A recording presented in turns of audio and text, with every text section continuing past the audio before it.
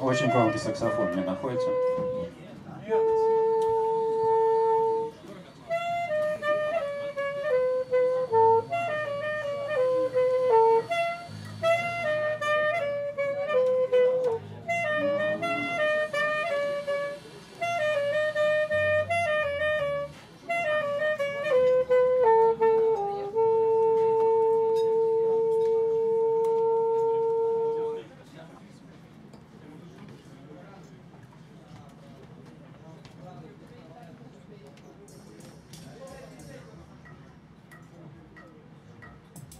Ага.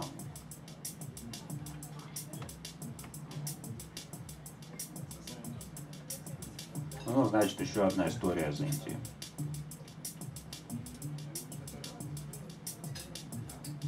На этот раз из Гималаев.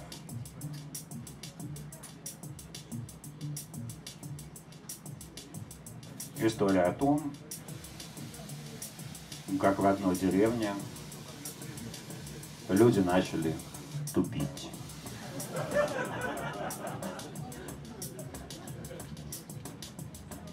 Целыми днями тупо тупили.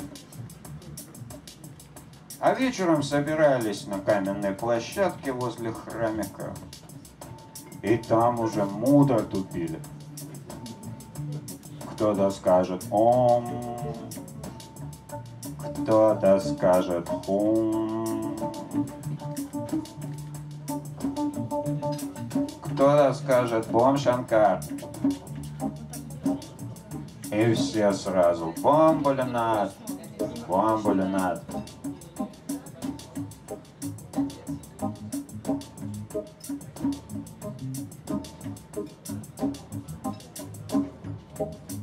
Что-то вы какое-то быстро играете, совсем не деревенское, ребята. Вам не кажется?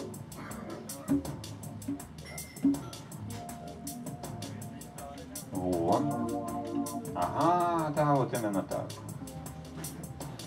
А деревня-то была высоко в Гималаях, за двумя перевалами от основной цивилизации.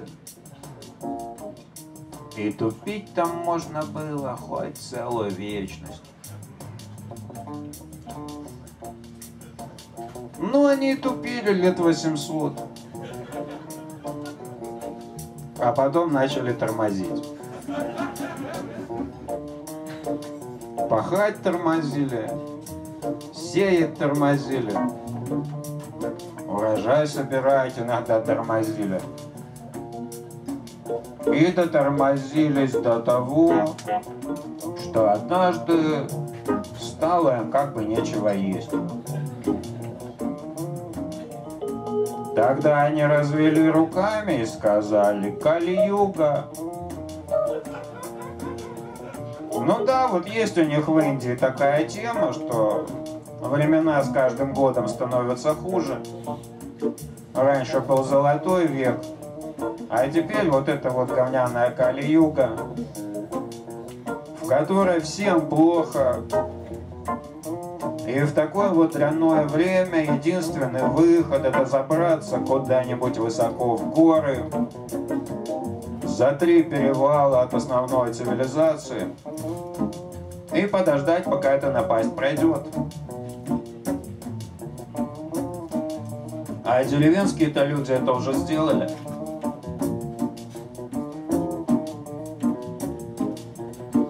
Ну и чем было, было им еще желать? Ну, они и тупили еще лет 400.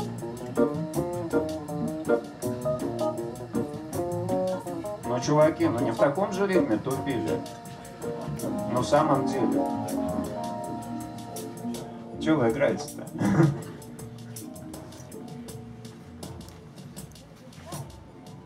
А потом начали тормозить. Ой, тормозить они уже давно начали. Потом они начали забывать, как кого зовут. И многие другие слова тоже забывали.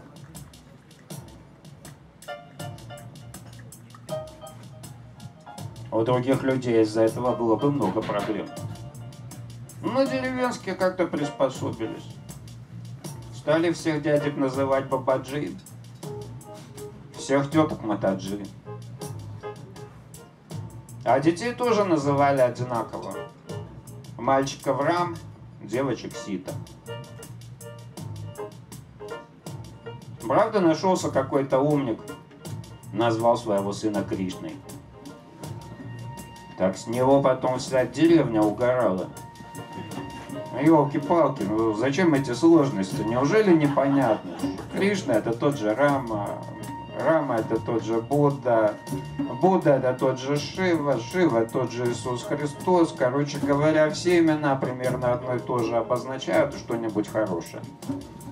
Так зачем же это все, все это разнообразие-то вносить? Так по итогу пацана Рама и кликали.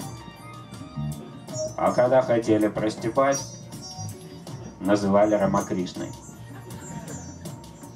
И застебали до того, что пацан лет 12 свалил из деревни за два перевала к основной цивилизации.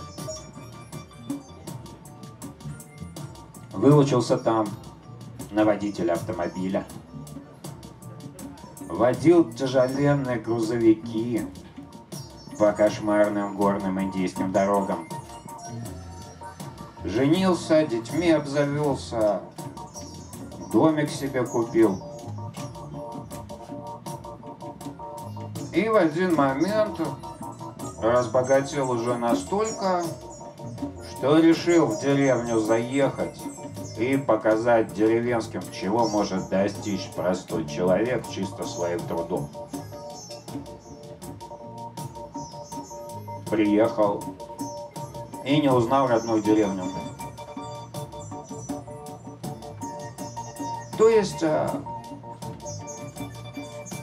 было там, в принципе, как и раньше было. Пусто, грязно, холодно, помойно. Но вот не было там уже той благодати, того покоя, того шанти-шанти. А все потому, что неподалеку от деревни проложили дорогу через два перевала. И стали в деревню разные чужие люди наведываться.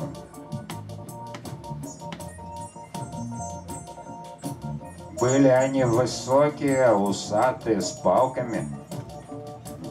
Ничего не понимали, только кричали, палками махали, траву косить заставляли. Были они маленькие, толстые, хитрые. Полезные вещи за бесполезные бумажки выменивали. И были они вообще на людей не похожие, высокие, бледные. Ходили везде, улыбались, фотоаппаратами щелкали. И не было от них никакого спасения. Куда ни ткнись, везде они. Но не это было самое напряжное. В конце-то концов деревенские научились и с усатыми договариваться, и с толстыми торговаться. А белым просто кричали «Don't touch me, foreign people». И foreign people уходил и никого не трогал. Не в этом была запара. Запара была в том, что все эти люди были сытые, хорошо одетые, при деньгах, при всяких модных гаджетах. И глядя на них, деревенские задумывались, а что это у нас одних Кали-Юга, а у всех кругом все ништяк. И не было ответа на эти вопросы ни у кого, кроме великого бога Джамлу. А Джамлу был реально великий бог. Хотя и сидел он в таком небольшом каменном храмике, украшенном оленями рогами, как раз возле той площадки, где деревенские мудро тупили. Но это был очень сильный бог. Он очень не любил, когда к нему кто-нибудь заглядывает. Когда-то давным-давно откуда-то из долины пришел Брамин, который говорил, что все про Джамбу знает. Вот он только в храмик заглянул и тут же оттуда вылетел. онемевший, охромевший, окосевший, весь посидевший и наполовину парализованный. Деревенские этот случай хорошо запомнили. Как кого зовут, не помнили? А этот случай помнили. И вот собрались они возле храмика, принесли в жертву козочку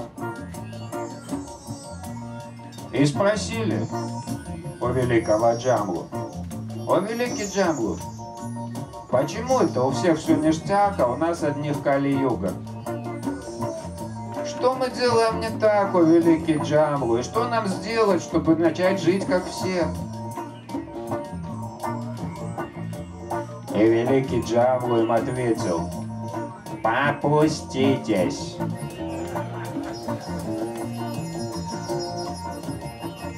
А куда вы, чуваки, разгоняетесь-то? Деревенским это слово было незнакомо. И они спросили своего самого старого бабая, Шри Рам Бабаджи, что значит «попуститесь»? И Шри Рам Бабаджи сказал «Ом» и задумался. А в это время мимо проходил Рамакришна и сказал, люди, я знаю, попуститесь, это такое специальное городское слово. Оно означает, что нам надо на время перестать курить чарос и заняться делом. Тут деревенские как удивились, как зашумели. Надо же все как просто. А мы-то думали, мы перестанем курить час, у нас все будет ништяк. А, так мы прямо сегодня перестанем курить этот зловредный чарос. И тут они представили, как перестанут его курить. Им стало маленько не по себе. Даже Шри Рамба Баджи на время прервал свою медитацию, подошел к храмику, поклонился и спросил, «О, великий Джамлу, ты точно сказал, попуститесь?» И Джаму ответил, «Попуститесь, попуститесь!» Тогда Шри Рамба Баджи заглянул в храмик и закричал «Кыш, кыш!» И из храмика вылетел попугай. Сел на ветку и прочирикал «Попуститесь, попуститесь!» И Шри Рамба Баджи сказал «Вот видите, люди, это говорил не Бог. Это говорила глупая птица, которая сама не понимает, что говорит. А вы-то, люди, вы-то что, и вправду поверили, что великий Джамлу мог нам такую ерунду посоветовать? И люди закричали, нет, нет, мы не поверили. И радостно подоставали свои челимчики, подоставали чарос начали крополить, забивать, воскурять.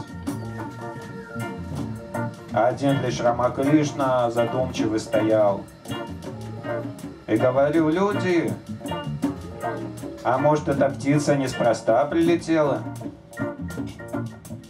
Может быть ее Джамлу прислал? Может быть нам действительно попуститься надо? Нет, вы посмотрите, какая кругом разруха, какое кругом запустение. Как мы вообще живем?